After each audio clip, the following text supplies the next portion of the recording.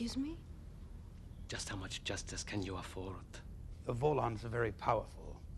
If you filed a protest, uh, Commander Sinclair would have to forbid Dr. Franklin to operate on his son. Will you consider one thing?